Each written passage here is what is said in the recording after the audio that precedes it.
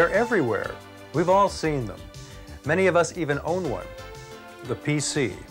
Ally and friend when they work, enemy and nemesis when they don't.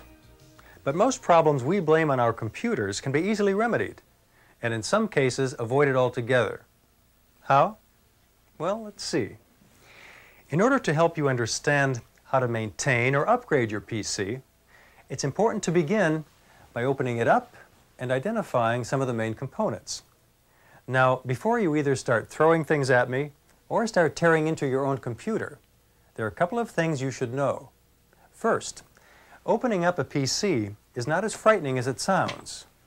And second, there are some definite tips and procedures to follow which can make the whole process relatively easy. Hi, Diane. Hello. I hear you're taking some computer classes. Yes, I am. Seems the more I learn about computers, the more I want to learn about them. It's kind of fun. I know what you mean. You know, one of the best ways to learn about computers is to open one up. What? Me open up a computer? I don't think so. Hey, many people react the same way. In fact, most, like yourself, would never even consider opening up this mysterious little box. But there's nothing like a little hands on training. It won't bite, you know. I know. I just didn't think it was practical. Ever had a problem with your computer? Well, sure. Who hasn't? Well, what could be more practical than being able to fix it? Look, Mr. Michaels, I really don't think I'm up to tackling this today. I'll tell you what, Diane, I'll make you a deal. We'll open up your PC and go through some basics. If you don't think it was worth it when we're all done, I'll buy you lunch. Hmm. There's got to be a catch. Sure. If I'm right, you buy. What do you say? Sure. Why not? Great. Hey, I'll go get my tools. Why don't you clear off your desk so we can use it as a workspace? You got it.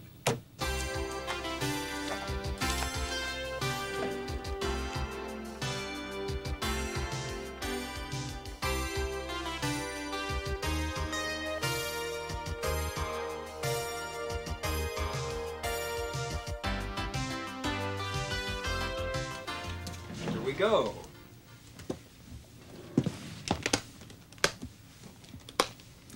The first thing we need in order to do the job right is the proper set of tools. These consist of medium and small Phillips head screwdrivers and medium and small flathead screwdrivers, all very useful when disassembling and reassembling the computer, as well as mounting add-on cards. Tweezers, useful for picking up any small parts which may have been dropped. A small jar, even a clean coffee cup, perfect for keeping track of any screws or other small parts. Do you have a notebook here? I think so. Yes, Good. I do. You can keep a journal of all the work you do on your PC, such as maintenance, system configuration and repairs, or making notes and drawings to help you reassemble the computer when you're done. A pencil, so you can write in your notebook, but also helpful for setting configuration switches. And finally, a small brush for cleaning the fan, its housing, and exhaust. You may also need a medium-sized hex screwdriver, just in case your computer uses hex nuts on the back. Some people like to use compressed air or computer vacuums. Since the vacuums don't really work that well, you may just want to save money by purchasing a can of compressed air from a camera store to blow debris away. You should be able to purchase any of these tools at a local hardware store and be able to put your toolkit together for less than $15. Most computer stores sell kits like this. The tools may be a little more expensive, but they come with this storage case, which helps you keep track of all your tools. And you can be sure that none of these tools are magnetized. Magnetized? Yeah, you can never use magnetized tools around your PC. Magnetic fields can damage the hard drive, the floppy disks, and possibly other components. Now, Diane, you've got to promise me at least half an hour of uninterrupted time so we can concentrate on our work here, all right? I promise. It's important because it's incredibly difficult to come back to a desktop full of screws, cables, and parts and try to remember where everything goes. Let's begin here by running Check-It. What is that? It's a diagnostic program. It can tell me all kinds of things about your PC. Right now, I'm mainly interested in two things. the system configuration report, and the CMOS table. Oh, just type check it at the A prompt. I'm going to print them out because they'll be important to us later on when we get inside the computer. It says here you have an 8286 processor, 512K of memory, a CGA video adapter, a hard disk, a floppy disk, and some serial and parallel ports. Now before you do anything else, make sure everything is turned off. Then unplug the PC from the wall. Unplug the power cable from the PC. Disconnect the monitor and set it aside. But what about all these cables? Oh, those are the cables for the keyboard, the mouse, the monitor, and the printer. Hey, before you go any further, you better start using your notebook.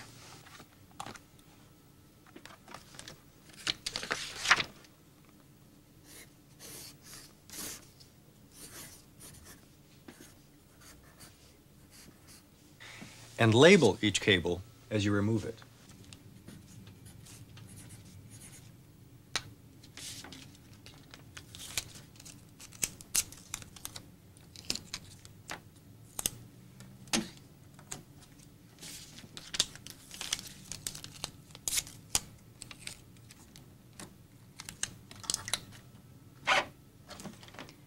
Well, this one won't come out. Use one of the small screwdrivers to loosen the screws.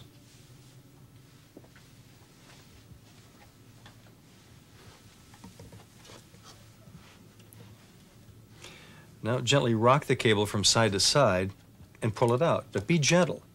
You don't want to damage any of the delicate pins or break the connector.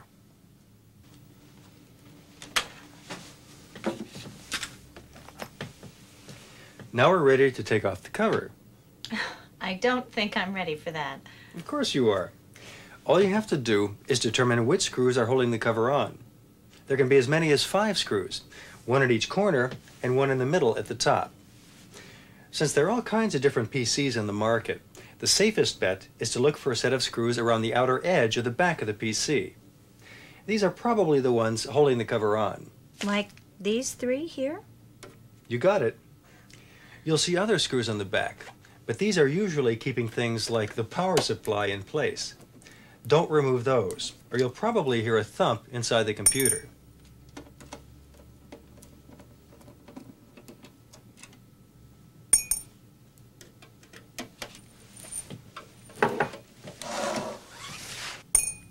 Well, that was easy. The right tools, the right screws.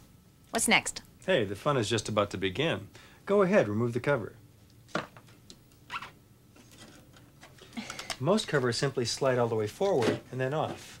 But you may find variations. Some may require a slight liftoff, while others may need to be pulled straight up. In any case, be patient, go slowly, and don't force anything. Nice going. Oh my gosh. Don't worry, this is quite common, especially inside PCs that have never been opened up. Dirt and dust accumulate inside and have no way of escaping. When it gets really bad, it can shorten your PC's life. But don't worry about that now. We'll clean it later. As you can see, there are a number of cables and wires crisscrossing here, mm-hmm. and you don't want to snag them when removing or replacing the cover. Now let's take a look around inside. This is the power supply. There's high voltage inside here, but don't worry about touching the outside. Just never open it up. These do tend to fail occasionally, but if that happens, simply replace it. There's nothing you can fix here anyway. This is the floppy disk drive. These are always connected with a single ribbon cable and power supply cable, and they're usually solidly mounted on the side with a few screws. Since the ribbon and power cables can work themselves loose, check to make sure they're fully seated and plugged in all the way.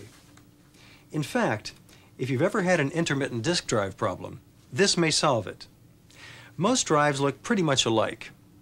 Whether you have a five and a quarter or three and a half inch drive, they're usually all found in the same area.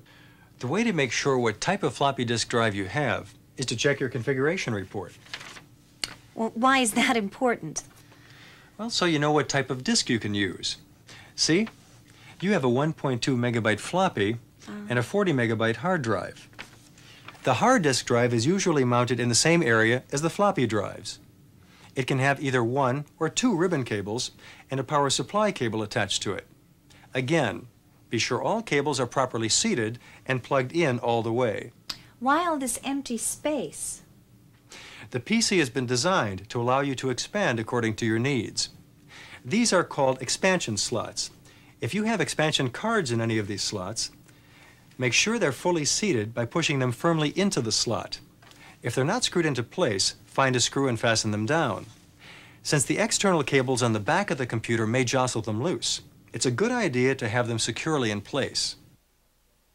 This board, with all of its chips, cards, slots, and sockets, is affectionately known as the motherboard. This is where everything happens. Now, you don't have to know about all the components, but it's a good idea to know what the motherboard looks like and what it consists of. One of the main areas on the motherboard is the RAM chip area. This is where all the memory is located. Sometimes, if you're getting system error messages, or if Checkit reports a bad memory chip, it's a good idea to make sure all the chips are securely seated. This may solve the problem. So if I wanted to add more memory, is this where it would go? That's right. You could expand the computer's memory until all these sockets were full, or you could add memory cards. Other areas to note include the location of the BIOS chips, which contain the information that makes PCs compatible with one another. Then there's the processor or CPU, which is a big chip. You can identify it by a number that usually ends in 86 or 88. The math coprocessor, or NPU, is also a large chip near the processor. Typically, like on your system, there's a socket here which allows you to add one later. Any one of these may need to be replaced, added, or upgraded at some time, so knowing where to look and what to look for can save you time and money down the road. And here's the battery. It's a good idea to know whether it's the type that can be changed or whether it's permanently soldered in. On ATs like yours, it's the permanent type, so you shouldn't have any problem. On XTs, it would be a card, like this. This removable type battery tends to wear out every few years, so you may have to replace it someday. Now, let's get on with the cleaning, which is why we opened your computer up in the first place. Right. I almost forgot about that. Except all of this is still a little bit intimidating to me. Well, maybe so. But remember, to do basic maintenance, you don't have to understand how to build one of these or how the components work. I just want you to see how to get the most out of your PC by keeping it running in tip-top condition. Kind of like changing the oil in my car. Well, something like that, only it's a lot cleaner job. First of all, static electricity can seriously damage components.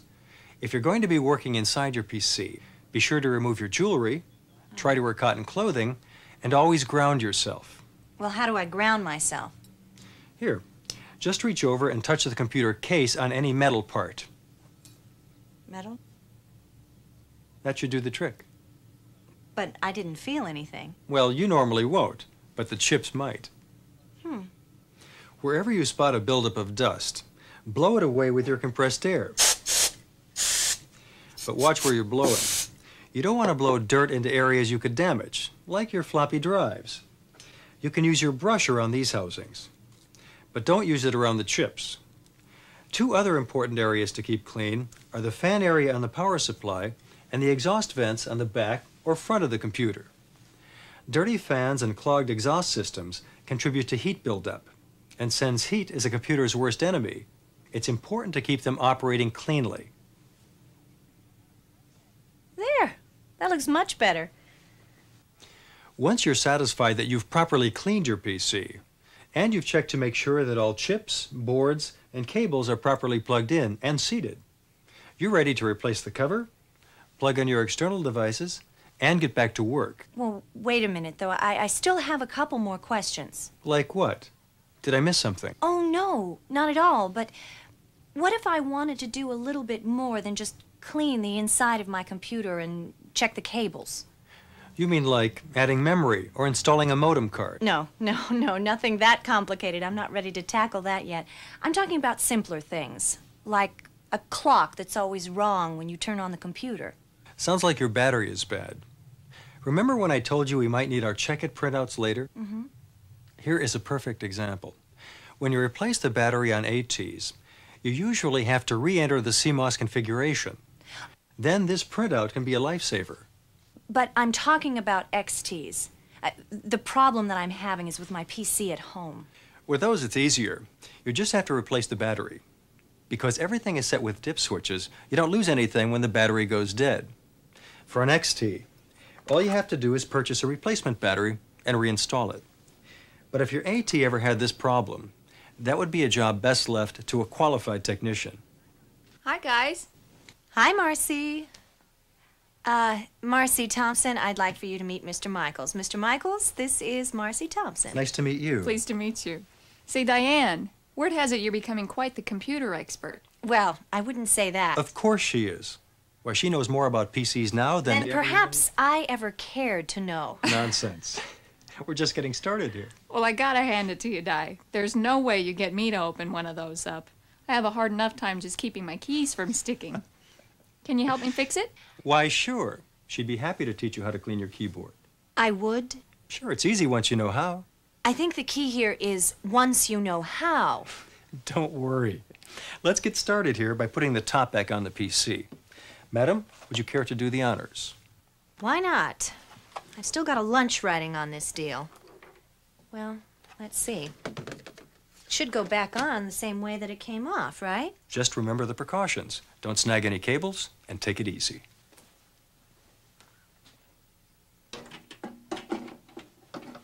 Once the cover's in place, take the screws from your jar and screw them into place. Don't make them too tight, though. Remember, you'll want to do this again sometime.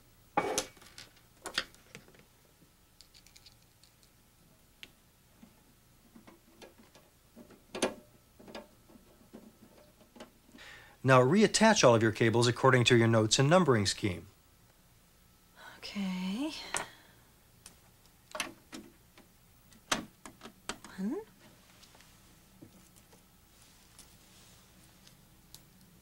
Is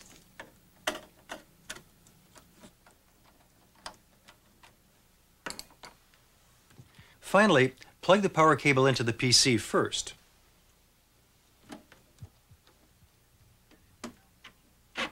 Then into an outlet.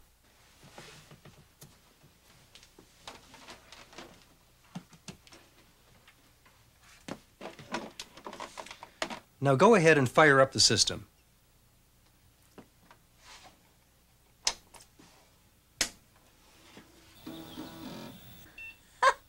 It works. Of course it does. Don't sound so surprised. Oh, I'm sorry. It's just that I've never done anything like this before.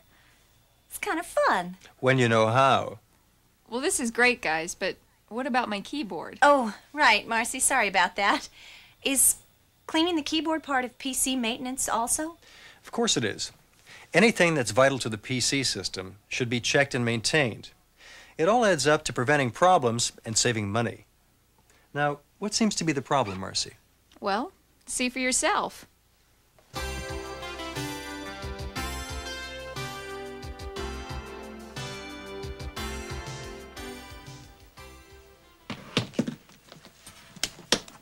Sometimes I'm not even sure it works right myself, but if you're gonna make me take it apart, Don't worry, Marcy. Even I know my limitations. Keyboards aren't designed to be easily opened up and worked on. However, I have a few tips that might help. First of all, if you think your keyboard isn't working properly, try checking the connections. Sometimes these can work loose and cause the keyboard to appear to be malfunctioning. Also, many keyboards have switches on the bottom, so you can use them on either XT or AT type systems. If the switch is in the wrong position, the keyboard will act strange, beep, or not work at all. Be sure to check this. Of course, the most common problem is simply keeping the keyboard clean. This is the type of maintenance that should be done frequently. Begin by turning off your PC. Then clean the keyboard surface and keypads by using any appropriate plastic cleaner. Computer stores carry cleaners such as Kodak Screen and Keyboard Cleaner. It's perfect for this type of cleaning. And all you have to do is follow the directions on the back of this card. Clean the top of the keys with a lint-free cloth and the cleanser.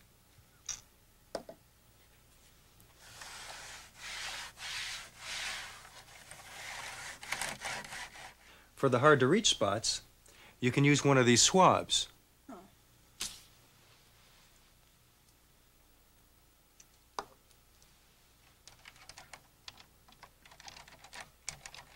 Then use a brush and your compressed air to dislodge debris from under the keys.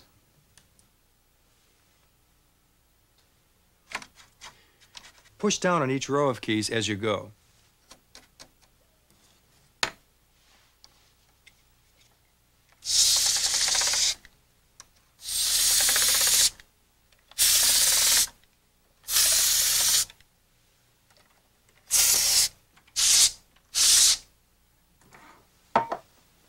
Wow. See, Marcy, that wasn't so hard. No, not at all. But what if my key still sticks even after all of that? If you still have a stuck key, try flossing the keyboard with the edge of a lint-free cloth. You mean, uh, something like this? Right under the corner there. Why don't you give it a try now, Marcy? Great. Oh, will you excuse me for a minute? Certainly. Can you think of any other things that might make life miserable for a PC user? Oh, sure. I can think of plenty of things. Uh, a printer that won't print, a mouse that won't. Mouse? okay, let's take a look at those too, shall we?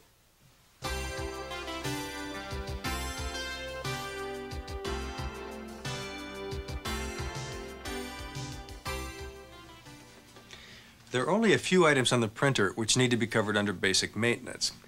Just like your PC, printers come in all shapes and sizes. However, if you understand these basics, it's easy to apply them to most standard printers. First, turn it off, and then remove the cover. Usually it'll just snap out, but if you're not sure how to do this, refer to your owner's manual. Do you see the paper particles, dust, and lint inside here? Ugh. Looks worse than the inside of my PC. This is common after the printer's been in use. Our task is to remove this debris, since a buildup of these particles increases the chances of getting something between the printhead and the paper. First, remove the printer ribbon. Then you can choose your cleaning method. One method is to vacuum it out, but perhaps the easiest and most desirable way is to use your brush and compressed air.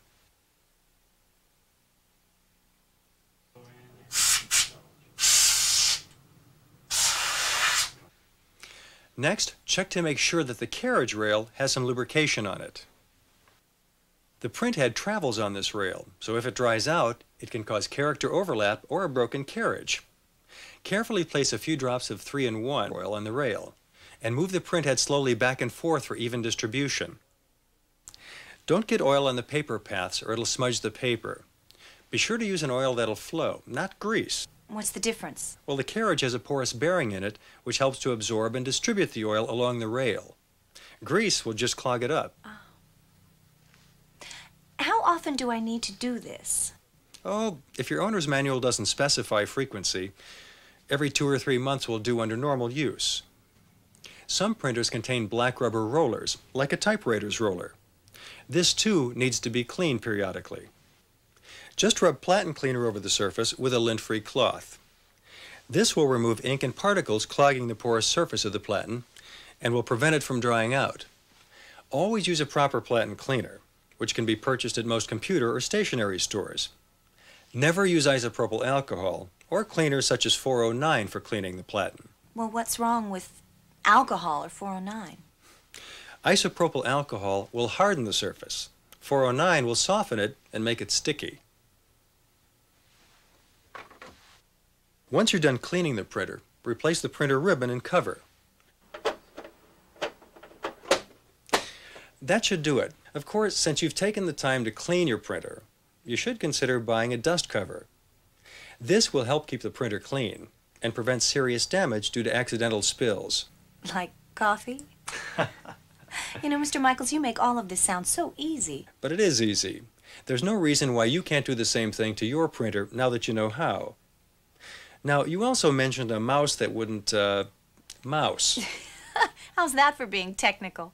Well, as I told you before, you don't have to know how to build a PC. That goes for knowing all the technical terms, too. Just following these tips puts you miles ahead of the ordinary PC user. I'm convinced. What's next? The mouse, The mouse. after you. Thank you.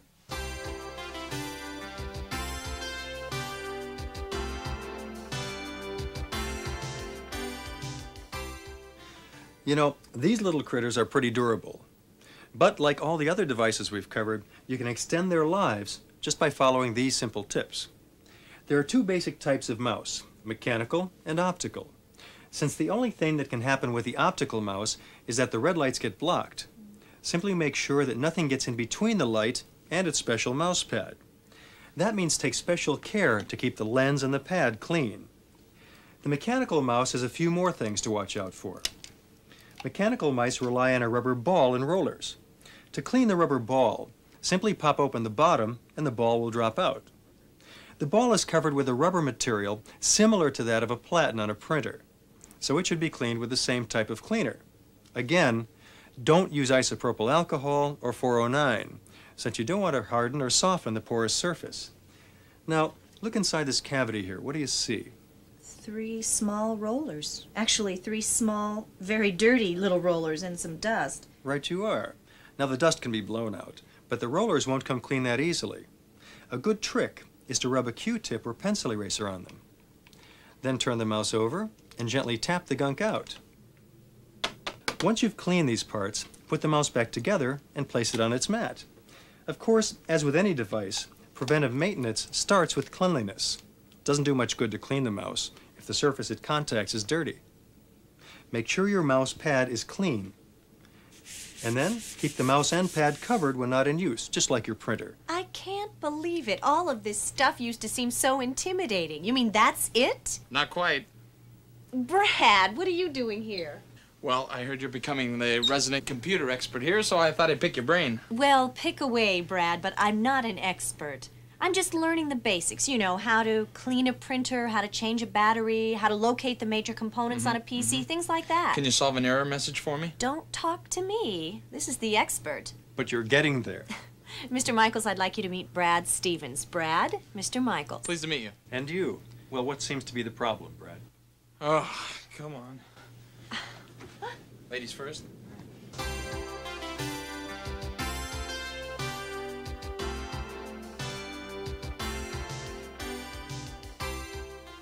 Oh, lately I keep getting these disk error messages on my screen. I think my drive is going bad. Not necessarily. Let's take a look at it. If this, if this thing goes down, I'll probably have to do like everybody else around here, uh, bite the bullet and send it out for repair. Is he always like this? Only under deadline. Which is all the time. Well, when was the last time you cleaned your floppy disk? Hmm. What year's this? You know, you're supposed to clean it about every three months, more often in dusty or smoky conditions. Do, do we have to open up the PC to clean them? Well, in the old days, yes. But nowadays, no way. There are two common disk cleaning systems on the market today. One is a wet cleaning kit, the other a dry. Wet cleaning kits, such as this one from Kodak, come with either aerosol or eyedrop solutions. Two or three drops from the eyedropper is enough, while the aerosol is usually a measured spray. Just apply the solution to the cleaning disk and insert the disk into the drive. Would more solution clean better? Well, you should never oversaturate the disk. That'll cause more harm to the drive than good. Now, the dry disk works basically the same way, but it's much less hassle, since you don't have to worry about cleaning solutions. But they're a little harder to find. Now, once the disk has been inserted, type DIR. What's that sound? You'll hear a slight hissing sound as the drive tries to read the disk. Oh. Ah. Since the disk is not regular media, you'll receive a general failure error message on your screen. Instruct it to retry and continue this procedure three more times.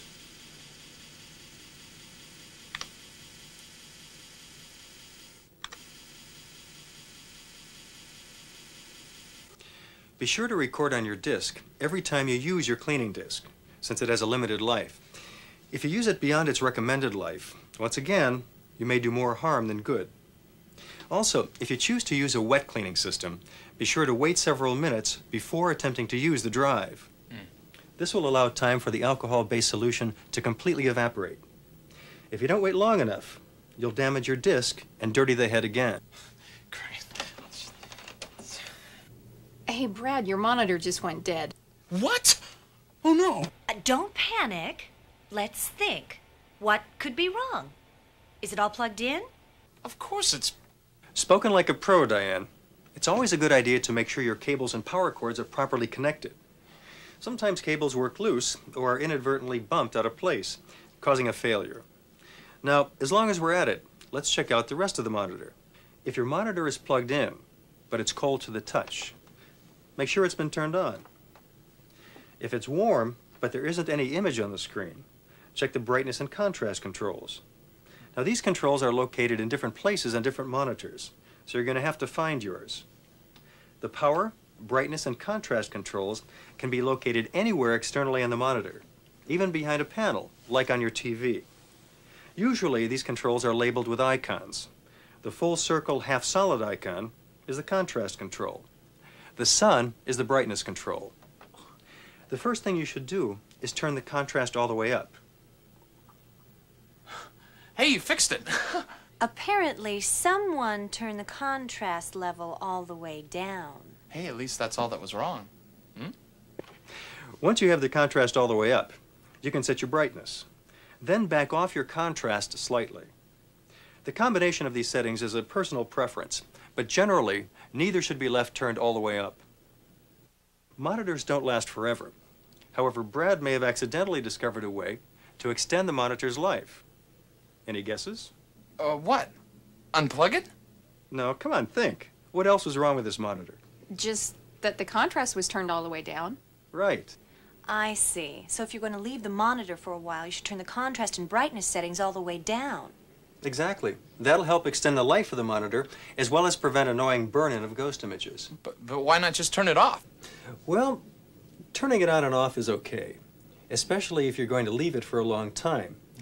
But if you're frequently leaving and returning to your display, you may want to purchase a screen blanking program, which will automatically dim your screen after a few minutes of inactivity. Hmm. Oh yes, thanks for the reminder, Brad. Huh? The final step in monitor care, cleaning it. Oh, yeah. Right. Cleaning a computer monitor is similar to cleaning a TV, but be aware of a few additional precautions. Never use Windex on the screen, because it might remove the anti-glare coatings that come on some monitors. Mm. The proper way to clean the screen is with the monitor off. Then use the Kodak cleaner we used earlier with a lint-free cloth.